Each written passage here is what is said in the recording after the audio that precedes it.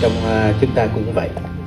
Khi mà chúng ta ăn cơm miếng rồi à, ngưng một khoảng thời gian khoảng chừng à, một tháng đi mình bệnh mà ăn cháo thì mình sẽ thèm cơm và khi ăn cơm nó sẽ rất ngon. Cái cảm giác của linh khi quay phim lại để đóng cái làm giàu với ma này nó cũng thế. Trong một khoảng thời gian mình không có tham gia phim điện ảnh nhiều thì khi mình trở lại à, thì mình sẽ cố gắng nhiều hơn. Và cái sự cố gắng này nó đẩy từ trung lùng bởi vì anh em làm việc cũng mấy chục năm rồi. Đây là lần đầu tiên em mình nó làm. À, thì linh cố gắng. Cái thứ nhất là phải nghe lời ông. Thức khuya dậy sớm. À, làm những cái cảnh khó thì vẫn phải theo ông. Và kìm nén cái tiếng nói kìm nén cái kiểu như là mình làm hài riết nó quen rồi đó. À, trong cái khoảng thời gian dài mình cũng không có dĩ nhiên quý vị cũng đã xem linh đóng kịch mà có bi ở trong đó rồi. Nhưng mà chỉ có một số ờ, một số khán giả là xem ở tại rạp ở trong thành phố này thôi. Còn ở các nơi thì có lẽ là cũng ít được xem. Là linh ờ, đóng bi và chỉ xem hài thôi.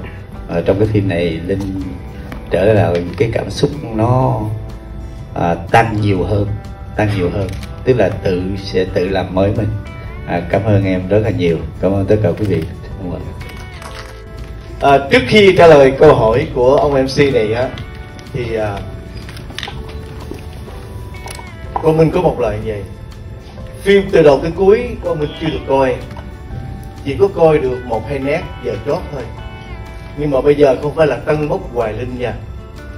Hoài Linh với lại Quang Minh anh em phải diễn chung mấy chục năm rồi. Hôm nay Hoài Linh đã bảo đảm vai này Hoài Linh sẽ diễn trọn vẹn. Quang Minh đã nhận thấy được cặp mắt của vợ Linh trong một một cái khúc hai cha con thôi đó làm cái Hoàng Minh xúc động đó là thật lòng mình tin là đoàn viên chọn Hoài Linh không sai yeah. Dạ. còn cái điều thứ hai nữa là Quang Minh chọn à, anh, anh đọc cái vai này yeah. ok cái vai phản diện này đây là một cái vai diễn mà đầu tiên Quang Minh tham gia với một cái vai là phản diện. Cho nên mới đầu vô vai á hình như ráng cố gắng lắm mà đạo diễn nói anh Minh ơi mặt anh còn hiền quá. Cho nên cuối cùng của mình rất là hết sức để mà làm tròn vai. Hy vọng uh, các bạn uh, tiếp nhận được cái vai mới này của mình Minh. À, xin hết ạ. À. dạ.